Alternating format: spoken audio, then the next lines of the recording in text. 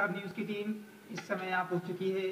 भोपाल विधानसभा, भोपाल मध्य विधानसभा क्षेत्र के पूर्व संयोजक और आम आदमी पार्टी के नेता श्री अमीन राजा साहब के पास। और अभी हम इनसे मध्य प्रदेश की जो ताज़ा घटनाक्रम है, राजनीतिक घटनाक्रम है, इस बारे में कुछ चर्चा करेंगे। सर, ये बताइए, अभी जो राजनीतिक हालात चल रहे हैं, ये हालात क्यों और कैसे हुए? सबसे पहली बात तो ये है कि ये राजनीतिक मंच के द्वारा हिंदुस्तान, मध्य प्रदेश की जनता को बेवकूफ़ बनाया जा रहा है।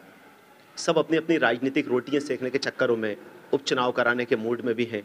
जनता के पैसे को बर्बाद किया जा रहा है, जनता जो टैक्स जमा करती है, उस टैक्स से उसको सुकून से सरकार चलती, कोई भी सरकार हो, वो सुकून से चले ताकि जनता का पाँच साल के लिए विकास हो सके। अभी आप फिर चुनाव कराएँगे, उसके अंदर फिर लगभग पंद्रह महीने गुजर चुका आपने क्या हिंदुस्तान, मध्य प्रदेश के अंदर कमलनाथ जी ने क्या क्या जो काम किया, वो सब आपके सामने है कि उन्होंने विधायकों तक को इज़्ज़त नहीं दी, जिसकी वजह से आज विधायक खुल के बोलते हैं कि ये हमसे मिल तक नहीं जाते। इन्होंने हमारे काम नहीं करे। ज्योतिरादित्य सिंधिया जी ने खुद कहा कि हमारे विधायकों के काम नहीं होते थे, हमारे काम नहीं होते थे। इस बाद उन्होंने कांग्रेस पार्टी से इस्तीफा दिया। नहीं, दूसरी चीज़ ये जो अभी जो मध्य प्रदेश के अंदर राजनीतिक हालात बने हुए हैं, जैसे अभी सुबह गवर्नर ने मध्य प्रदेश के जो मामहीम हैं, उन्होंने विधानसभा का सत्र में अभिभाषण दिया, सिर्फ़ चार पंक्तियों में दिया। और उसके बाद संविधान की दुहाई देकर और संविधान की बात कहकर वो चल दिए। और उसके बाद जो सत्ता पक्ष और विपक्ष का जो हंगामा हुआ, और अभी थोड़ी देर पहले बीजेपी के विधायक अपना पूरा समर्थन लेकर गवर्नर हाउस में बैठे हुए इस बारे में आप क्या कहना चाहते हैं? देखिए सिंधिया जी ने तो एक तरीके से मानेंगे अपन कि कांग्रेस पार्टी ख़त्म हो गई है। कांग्रेस पार्टी सिर्फ़ वेंटिलेटर पे है, आज की डेट में देखा जाए तो वेंटिलेटर पे है। बल्कि कांग्रेस पार्टी तो शून्य पे आ गई है। और, सिर्फ़ वेंटिलेटर की बात इसलिए करी कि लोगों में हड़कम न मच जाए। कि कांग्रेस पार्टी ख़त्म हो गई। उसी बीच में जितने काम थे इन्होंने अपने काम निपटा लिए हैं। जितने आ, काम इनको करना था अंडरग्राउंड उन्होंने अपना काम कर लिया कि नहीं सरकार हम बचाएँगे। लेकिन सरकार तो उसी टाइम ख़त्म हो चुकी थी और मुझे नहीं लगता कि मध्य प्रदेश के अंदर दोबारा कांग्रेस सरकार आएगी। इस घटनाक्रम में आम आदमी पार्टी अपना मध्य प्रदेश में क्या राजनीतिक भविष्य देखती है? देखिए मैं आज आपको एक बात बताऊँ कि दिल्ली की तर्ज आप देखिए दिल्ली में किस तरीके से चुनाव से पहले मुद्दे हुए? और लोगों ने कहा कि केजरीवाल आतंकवादी है तो कोई कुछ बोलता है तो कोई कुछ बोलता है। लेकिन सिर्फ़ विकास पे काम होता है।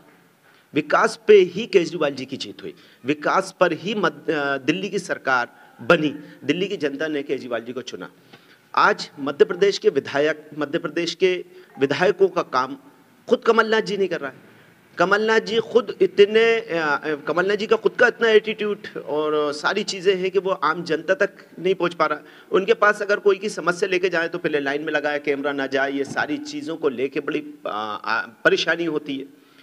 तो सारी चीज़ों को देखते हुए ज़्यादा दिन कर रही सरकार नहीं चलती। और राजनीतिक घटनाक्रम हुआ, विधानसभा अध्यक्ष ने विधानसभा 26 मार्च तक के लिए स्थगित कर दी है। और बीजेपी अभी अभी से आधे घंटे पहले सुप्रीम कोर्ट का दरवाज़ा बीजेपी ने खटखटाया। हाँ।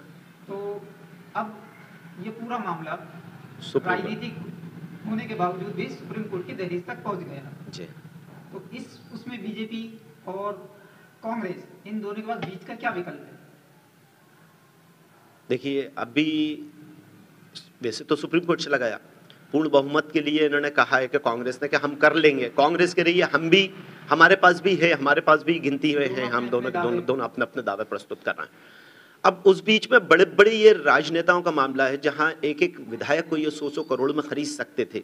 खरीद परोस जो इतने दिन से चल रही थी हॉर्स ट्रेडिंग चल रही थी ये सारी चीज़ अपन देख रहा है कि बड़े बड़े विधायक को को जनता जो थी वो अपना वोट दे रही थी पर ये पैसों की वजह से बिक जाते हैं। इन सारी चीज़ों को ध्यान अभी देखना पड़ेगा कि अभी कितने विधायक बिकते हैं और कितने आते हैं और कितने जाते हैं ये सारी हाउस ट्रेडिंग के अंदर अभी आपके सामने आ जाएगी कि ये बात तो दोनों पार्टियों के लिए लागू हो सकती है हो सकता है वो खरीदने हो हाँ वो, वो दोनों पार्टियाँ सिर्फ़ खरीद पर उसके ऊपर यानी पैसे के ऊपर डिपेंड है कि कौन कितना पैसे देगा और रातों रात क्या चेंज हो जाए।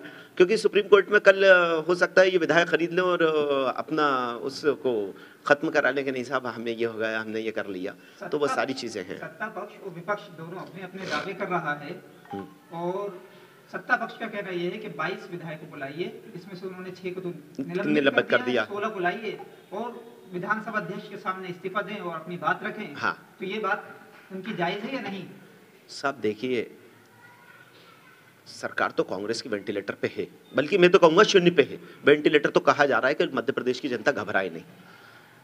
इसके अंदर ये सिर्फ़ इनकी मोनोपॉलिसी ये है कि सरकार चली गई है, हम दोबारा इसको चुनाव को, इसको भंग कराएँ, शून्य कराएँ विधानसभा को और दोबारा चुनाव कराएँ। लेकिन वो चुनाव तो होना ठीक है। दोबारा ये अपनी राजनीतिक रोटियाँ सेकने के चक्करों में दोनों पार्टी हिंदुस्तान के पैसे पैसे को, जनता के पैसे को बर्बादी के कगार पे पहुँचा रही है। जहाँ आज लोगों के पास इकोनॉमी देखिए रोज़गार देखिए स्वास्थ्य देखिए शिक्षा देखिए जिस पे काम करना चाहिए था। जिस तरीके से दिल्ली के अंदर मोहल्ला क्लिनिक हुए स्वास्थ्य के ऊपर काम चल रहा है शिक्षा के ऊपर काम चल रहा। है यहाँ भी कांग्रेस सरकार संजीवनी क्लिनिक कर रही है। देखिए वो सब दिल्ली को देख के ही इससे तो है पहले देखिए अच्छा दिल्ली को हाँ अच्छा। के हैं, तो आज आज आज कितने क्लिनिक खुले? सिर्फ़ एक। नहीं पाँच। भोपाल शहर देखिए भोपाल कहाँ। एक क्लिनिक का उद्घाटन हुआ है इस्लामपुरे के अंदर। बाकी अभी खुद जो मध्य प्रदेश के कैबिनेट मिनिस्टर हैं पीसी शर्मा उनके विधानसभा क्षेत्र में एक हो गया है एक आरिफ अकील साहब के एरिया में हो चुका है। अगर अगर हुआ है तो ये बड़ी अ, अच्छी बात है। मैं मैंने मुझे एक का मालूम था और मैंने एक को देखा था बाकी पाँच को मैं नहीं देख पाया चार को। लेकिन मेरा कहने का मतलब ये है कि अगर दिल्ली की तर्ज पे अगर ये काम करते यानी मैं तो सिर्फ़ एक बात मानता हूँ जनता के बीच में जाओ जनता के मुद्दों को लो जनता की बातों को समझो तो आपको जनता कोई भी हो, आप चाहे पार्टी में रहो, नहीं रहो बीजेपी में चले जाओ, कांग्रेस में चले जाओ, किसी भी, कोई भी पार्टी के अंदर रहोगे, आपको जो जो व्यक्ति जो जो सरकार काम करेगी, वो सरकार आगे जनता उसको चाहेगी, जनता के अंदर अवेयरनेस आ चुकी है, जनता एक्टिव हो चुकी है, जनता समझ चुकी है कि ये सब बेवकूफ़ी वाली बातें बनाते हैं। ये सिर्फ़ अपनी राजनीतिक रोटियाँ सेकने के चक्करों में काम करते हैं। सिर्फ़ जनता को विकास चाहिए, काम चाहिए। अभी कोरोना कितनी तेज़ी से चल रहा है, उसके लिए क्या बजट आया है? पेट्रोल के लिए आप देख लीजिए कि हर जगह पेट्रोल के दाम कच्चे तेल के दाम डाउन पे हैं और हमारे इधर तीन रुपए बढ़ा दिए। ये सारा मज़ाक जो चल रहा है, ये सारा जनता देख रही है, समझ रही है। लेकिन कुछ भक्त जो है, उन्हें आज भी ये लगता है कि नहीं, कुछ नहीं, जो मोदी जी कर रहे हैं, बहुत अच्छा कर रहा है। तो ये सारे भक्तों को भी कुछ दिनों में समझ में आ जाएगा यस बैंक की मट्टी पलीत कर दी रिलायंस की मट्टी एयर इंडिया की मट्टी पलीत कर दी, रेलवे के साठ ट्रेनें उन्होंने प्राइवेट कर दी, ये सारी